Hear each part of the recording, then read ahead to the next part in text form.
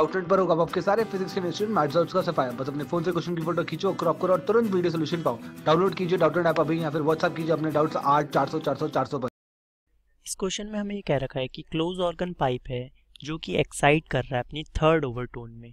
और ओवरटोन में कितने नोट्स हैं और कितने एंटी नोट्स पूछे हैं। तो ऑप्शन है three nodes and three antinodes three nodes and four antinodes four nodes and three antinodes four nodes and four antinodes so जो पहले तो थर्ड ओवरटोन क्या होती है वो देखते हैं कि third overtone close organ pipe में क्या होती है वो देखेंगे।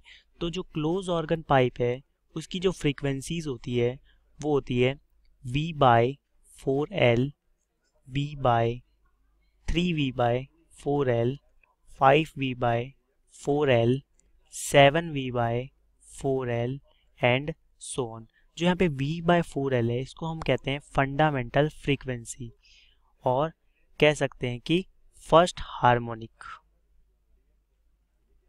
ये है थर्ड हार्मोनिक हार्मोनिक का मतलब कितने टाइम्स ऑफ़ फंडामेंटल फ्रीक्वेंसी ये क्या है? फिफ्थ हार्मोनिक ये है सेवंथ हार्मोनिक और जो ओवरटोन की सीरीज़ है, वो फंडामेंटल फ्रीक्वेंसीज के बाद शुरू होती है। तो इसको कहते हैं हम फ़र्स्ट ओवरटोन, इसको कहते हैं सेकंड ओवरटोन तो इसको कहते हैं हम थर्ड ओवरटोन। यानी थर्ड ओवरटोन जो हो गया, उसकी जो होती है, वो होती है seven V by four L. तो इसका हम डायग्राम बनाते हैं। तो ये है हमारा इसका थर्ड ओवरटोन का डायग्राम।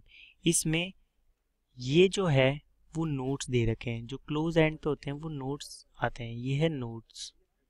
ये ये है नोट्स। और एंटी नोट्स है, इसमें कितने नोट्स आ रहे हैं? चार नोट्स आ रहे हैं। तो ऑप्शन कौन सा सही है? चार नोड हैं और एंटी नोड जो है, हर नोड और हर टू कंजिक्यूटिव नोड्स के बीच में एक एंटी नोड आएगा। तो ये एंटी नोड्स हम दिखाते हैं।